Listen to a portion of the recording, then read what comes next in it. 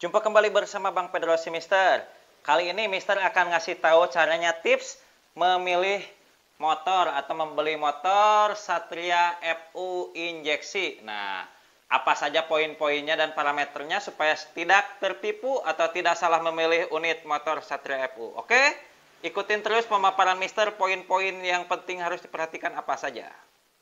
Menarik sekali untuk membeli Satria FU karena ini adalah apa bebek 150 cc terkencang di kelasnya ya. Jadi pilihannya juga memang banyak ya mulai tipe-tipenya dari Black Predator seperti ini atau versi MotoGP dan lain sebagainya. Sebetulnya motor Satria injeksi ini yaitu hadir pertama tahun 2016 ya. Masih muda.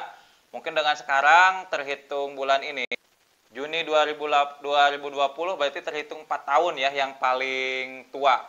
Nah, harusnya memang usia 4 tahun memang masih bagus tetapi karena ini segmennya motor buat anak muda atau yang berjiwa muda jarang sekali menemukan unit yang mulus. Nah, ya itu ya tip, tipsnya apa saja? Yang pertama tentunya keabsahan dokumen karena pada saat membeli kendaraan apa pun itu jenis dan mereknya terutama BPKB dan STNK ya, sesuaikan dengan nomor rangka dan nomor mesin. Nomor rangkanya ada di sebelah sini ya. Dan nomor mesin ada di bawah situ ya. Selanjutnya bila nomor rangka dan nomor mesin sama, berarti selanjutnya yang paling penting pada motor itu mesinnya. Yang pertama pasti kita nyari motor mesinnya ya. Jadi dipastikan sebelum body yaitu mesinnya karena kalau body gampang ya memperbaikinya paling tinggal dicat atau beli body baru nggak terlalu jadi masalah tapi ini mesin ya mesin ini sektor yang paling utama pada sebuah kendaraan jadi perhatikan mesinnya. Nah, ini tipsnya. Nah, ini sudah Mister coba nyalakan ya. Nah, ini memang ciri khas DOHC ya, ada bunyi-bunyi ciri khas DOHC kayak gemericik begitu. Kan wajar ya, ini pada DOHC real. Karena ini dua camshaft ya, bukan satu pakai cabang rocker arm seperti merek lain. Nah, bunyi seperti ini kita juga bisa lihat ya dari suaranya. Oke, kita bisa gas-gas.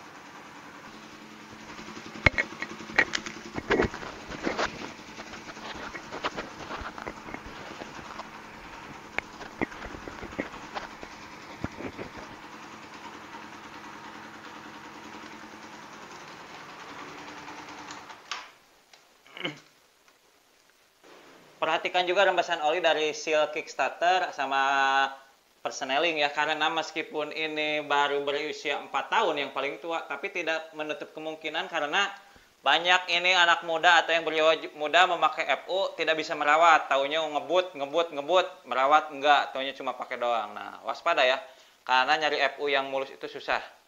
Bisa juga kamu test ride ya motornya enak apa enggak itu wajib ya Selanjutnya apa? Nah, di sini Mister tentunya memilih motor biasa itu dari tahun ya. Ini Mister beli apa? Beli kemarin second tahun 2018 bulan 8. Berarti dua bulan lagi ini dua tahun ya, udah mau dua tahun nih. Tapi Mister yang pertama itu jujur ya tidak dari tahun. Tapi yang pertama dari kilometer. Perhatikan juga kilometer nih, coba lihat. Ini Mister baru 6000 ya kilometernya baru 6.300 6.000 ini kemarin Mister beli 6.200 sekarang udah 6.300 ini mau 2 tahun ya 2 bulan lagi 2 tahun masih 6.000 kalau Mister pribadi lebih senang dari kilometer ya karena kemarin-kemarin dapat tahun 2019 baru satu tahun kurang kilometernya udah 32.000 nah itu Mister akhirnya skip apalagi memang nggak terlalu mulus sih. Jadi nggak menjamin motor itu tahun muda kilometernya rendah dan mesinnya bagus. Kalau Mister pribadi dari kilometer dulu ya. Itu cek juga kelistrikan ya di sini seperti starter ya starter. Nah, cek juga lampu jauh dekat ya. Terus sein biasa cek lampu depan belakang seinnya nyala misalnya. Seinnya nyala oke okay. ini karena lampunya ini aktif terus lampu jauhnya juga oke. okay. Klaksanya juga. Mantap ya. Aman berarti kelistrikan. Nah yang perlu diperhatikan karena berhubung motor injeksi yaitu kinerja ini. Kinerja fuel pump. Karena pada injeksi sih lumrah ya ketika di on kan ada bunyi fuel pump bekerja dan dari SU ya. Nah ada kayak tit gitu. Nah posisinya memang di sekitar ini ya kita lihat. Nah, di sekitar sini ya, ini SU-nya, ini pompa bahan bakarnya di dalam. Ketika kita kontakkan, nah ini kedengar dengar. Ada kedengaran bunyi berarti normal ya. Terus periksa juga dari ini ya. Nah dari sini ya dari ini. Apakah nah ini indikator ya. Kalau ini nyala yang kuning berarti ada masalah pada engine. Ini enggak masalah ya berarti begini ya.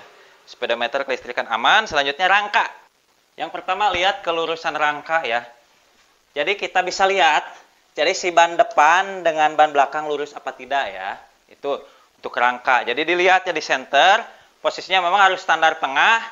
Jadi dilihat kelurusan antara roda depan dengan belakang siapa tahu nabrak segitiganya kena atau shockbreaker depannya kena atau rangka armnya yang lainnya juga kena. Tidak tertutup kemungkinan meskipun ini tahun muda ya itu. Selanjutnya cek juga ini shockbreaker depan ya. Kita rem sambil kita juga ngecek remnya juga. Remnya bagus koplingnya juga. Jadi cek keempukan shockbreaker depan periksa juga sealnya dari kebocoran ya. Takutnya ada bocor. Oke itu untuk mengecek rangka ya. Selanjutnya bagian belakang.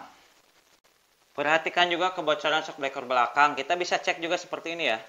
Kita cek shockbreaker belakang dengan kita tekan-tekan begini ya. Atau misalnya ajak teman berboncengan sambil berboncengan kita di depan teman di belakang kita sambil rasakan suspensinya empuk apa tidak kalau harus ada bunyi cit cit cit. Nah berarti itu masih shock masih bagus. Berarti rebound sama kompresinya masih oke okay. oke okay? udah shock belakang. Selanjutnya sistem pengereman ya. Sistem pengereman apa aja? Yang pertama tentu ketebalan kampas ini bisa dipegang ya. Tangan kita masukkan ke sini tebal apa enggaknya. Bisa dilihat secara visual. Terus cek juga. Nah ini meskipun muda ya yang paling tua itu apa? Hanya 4 tahun 2016 tepatnya tapi banyak kasus remnya itu sudah kurang bagus. Di bagian sini udah ada bocor sealnya ya. Nah itu rem depan ya. Kalau udah yakin ban, apa rem depan bagus pindah ke bagian belakang. Sama ya bisa dilihat. Nah ini kapasnya masih ada ya. Oke sambil dicek juga rem belakangnya. Berarti oke ya. Selanjutnya ketebalan ban ya. Ini bannya masih tebal. Oke berarti ya. Nah ini ban depannya juga masih oke. Karena kalau botak berarti mau nggak mau kita keluar uang sekitar 500 ribu depan belakang ya. Nah, kalau yang ban harga 250 ribuan. Selanjutnya radiator ya. Periksa dari kebocoran terus kisi-kisinya ini dari apa bekas benturan-benturan biasanya kan gampang pakai tangan aja di sini langsung melenyot ya harus perhatikan ya apakah masih mulus atau tidak. Perhatikan juga kebocorannya juga ya. Terus meskipun Kickstarter jarang digunakan, tetapi kita memang harus cek juga ya. Misalnya kita Kickstarternya bagus apa enggak. Nah, harus cek ya. Misalnya oke okay, kalau oke okay, udah oke. Okay. Meskipun jarang sih digunakan karena udah ada starter ya. Perhatikan juga gear belakangnya ya. Nah, gear belakangnya ini. Oke, gear belakangnya masih bagus ya.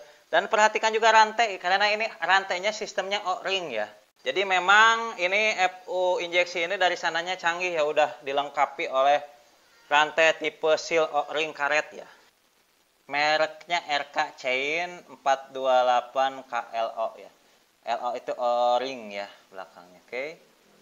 Nah, perhatikan ini sensor ini ya untuk ini untuk ke speedometer, sensor kecepatan yang lainnya.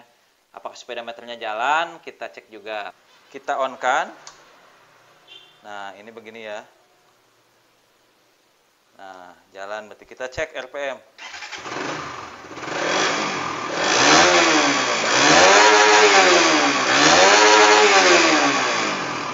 Limiternya di 13.000 ya. Oke, jalan ya. Selanjutnya ini ah ini. Nah, ini untuk ini ya, untuk limiter red limit nanti biasa nyala ya, harus dites juga ya. Ini speedometer dites juga jalan apa enggak. Terus indikator bensin, Mister belum isi bensin. Perhatikan juga kebocoran seal ya, terutama dari persil persenelang. Kalau bisa buka tutup ini rantainya, lihat seal rantainya apakah ada bocor atau tidak. Karena memang FU ini cari yang mulus itu gampang-gampang susah karena memang motor ini segmennya anak muda atau yang berjiwa muda kayak Mister umur 37 kan, tapi berjiwa muda cocok itu pakai motor ini. Tapi ya karena berjiwa muda ini jadi jarang yang dapat unit yang mulus gitu. Kalaupun ada ya meskipun tahun-tahunnya masih muda tapi kemarin juga Mister udah tiga kali COD-an lihat motor nggak ada yang cocok. Ini cocoknya ini baru 6000 mau dua tahun tapi mau 6000 jadi cocok lah. Jadi tipsnya sih sederhana karena ini memang relatif baru jadi nggak terlalu banyak PR Jadi kalau misalnya kampas depan belakang udah habis atau ban udah gundul sih nggak masalah ya atau body oke okay, lecet-lecet dikit nggak masalah. Dan kita harus nyari motor dalam kondisi standar pabrik biasanya kan suka ada yang ganti pelek depan belakang atau ganti apa gitu pakai stiker atau apa. Saran saya hindari saja. Lebih baik yang standar kayak gini Mister dapat ini 99,9% standar. Cuma spionnya aja nih tidak standar nggak apa-apalah spion nggak masalah. Cuma ini doang. Oke mungkin itu aja tipsnya. Cara membeli Satria FUFI ala Bang Pedro Simister. Mudah-mudahan bagi kalian yang seneng akan FU atau berencana meminang FU, maka cocok bagi Agan karena memang ini terkencang di kelasnya dengan teknologi yang lumayan canggih. Paling kencang juga, paling oke, okay, tapi memang tetap harus perhatikan faktor-faktor poin-poin tadi ya sebelum meminang ini. Oke? Okay? Jangan lupa sukses buat kita semua. Selamat pagi, selamat siang, selamat malam. Bang Pedro, si Mr. Teknik.